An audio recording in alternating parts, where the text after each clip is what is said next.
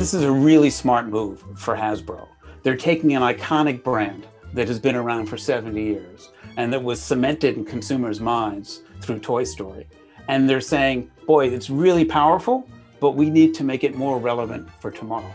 So they're keeping the important components, its authenticity, but they're letting kids put it together in new and fresh ways to make it more relevant.